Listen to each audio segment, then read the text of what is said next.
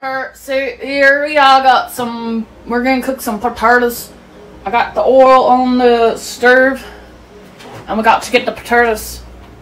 Just grab a little handful. Sizzle it.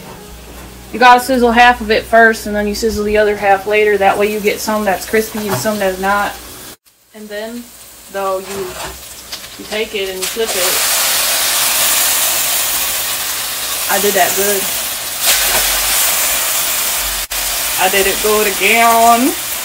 And then once you're an expert at it, you just like leave it there and you wait there because, you know, potatoes take a year. And you go through the cabinets to find the seasonings because the seasonings is what makes it what makes it all come together. And then it's like, what season do I want to be today?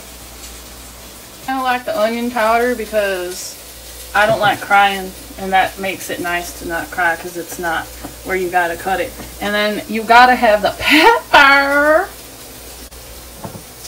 the pep in your step, boy.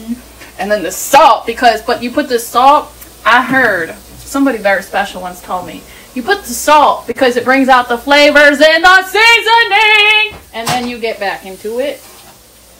Into the flip. Into the flip. Uh, uh, uh. This whole time, just, I don't even think I even seasoned the gosh damn thing in there.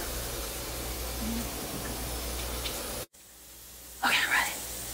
So, make sure, little tip, use this side. Don't use this side. Because it doesn't, you want me to show you? I'm not going to do that because I'm going to eat this tonight and I don't want to taste like onion. I like to let my potatoes burn. I like to let my potatoes burn because I tried to record video. Because I tried to record video. So instead, I burn my potatoes to record a video. I wish I had three hands because.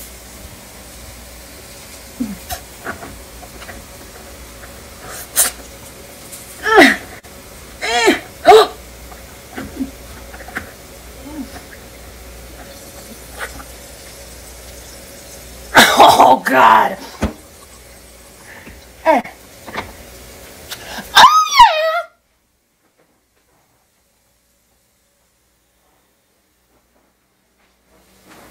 So we have the potato toast with veggies.